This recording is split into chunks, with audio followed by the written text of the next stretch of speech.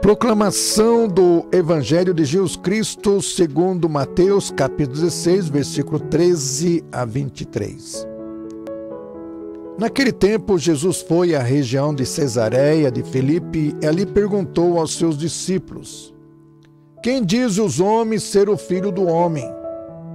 Eles responderam: Alguns dizem que é João Batista, outros que é Elias outros ainda que é Jeremias ou algum dos profetas.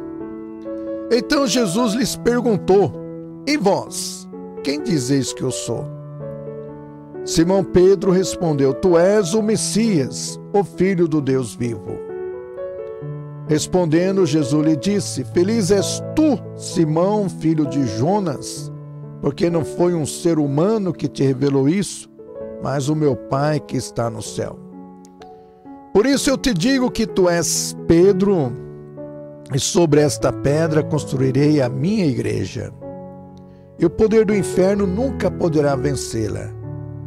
Eu te darei as chaves do reino dos céus. Tudo o que ligares na terra será ligado nos céus. Tudo o que desligares na terra será desligado nos céus.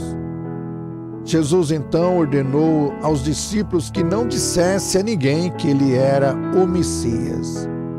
Jesus começou a mostrar aos seus discípulos que devia ir a Jerusalém, sofrer muito da parte dos anciãos, do sumo sacerdote e dos mestres da lei, e que devia ser morto recitar no terceiro dia. Então Pedro tomou Jesus à parte e começou a repreendê-lo, dizendo: Deus não permita tal coisa, Senhor. Que isso nunca te aconteça. Jesus, porém, voltou-se para Pedro e disse: Vai para longe, Satanás. Tu és para mim uma pedra de tropeço, porque não pensas as coisas de Deus, mas sim as coisas dos homens. Esta é palavra da salvação. Meu prezado, minha prezada, a gente é importante saber com quem a gente está falando, conhecer bem a pessoa. Porque às vezes você pode ir até um problema sério, você pode ter um problema sério quando você age de tal maneira com uma pessoa e quando você for perceber, esta pessoa, você mexeu com a pessoa errada não era essa pessoa, não podia ter feito isso. Melhor se tivesse, olha, ficado calmo. Um proprietário de um imóvel desejava muito investir no mesmo, porém, por uma porção de questões burocráticas, ele estava impossibilitado. E os anos iam se passando e nada se resolvia.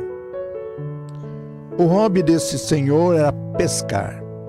Há anos que ele ele e um colega eh, seu viajavam juntos para fazer grandes pescarias.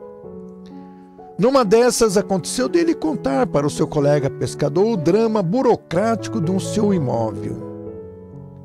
E esse colega disse: Mas por que você não me disse, não me expôs o seu problema antes? Pois eu, eu trabalho com essas questões, eu vejo isso para você. E o proprietário disse que não pediu ajuda dele porque, na verdade, não o conhecia. Realmente, aquele colega pescador, naquela semana mesmo, desfez o nó burocrático do imóvel e assim o proprietário realizou seus sonhos. Porém, ele passou a conhecer um pouco mais o seu colega de pescaria depois que, como poderíamos dizer, humilhou-se, se abriu, contando a sua dor e o seu sofrimento. Então Jesus lhes perguntou: E vós, quem dizeis que eu sou? Essa pergunta que Jesus faz aos seus apóstolos, discípulos, e faz para você e faz para mim. Às vezes nós não sabemos quem é Jesus, não é isto?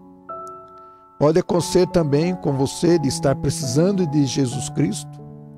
Ele sempre ao seu lado, de estar andando com você, falando com você, vivendo com você, e você não sabe e não acredita naquilo que ele pode fazer por você. Tem gente que sabe tudo de um time que torce, sabe tudo de um carro que gosta, sabe tudo da sua banda preferida, da sua música predileta, mas pouco sabe do Senhor Jesus.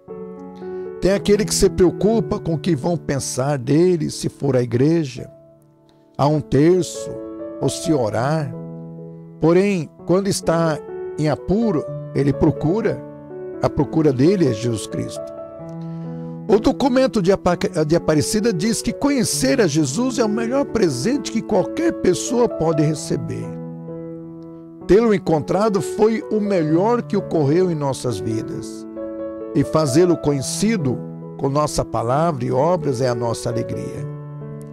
Quem conhece o Senhor Jesus sabe que não há outro caminho a não ser Ele. Jesus está perguntando para você, está perguntando para mim: quem sou eu? Quem sou eu? Quem é Jesus para você? Quem é Jesus para o Padre Pedrinho? Quem é Jesus para nós? Essa é a pergunta que fica hoje. Louvado seja o nome do Senhor Jesus.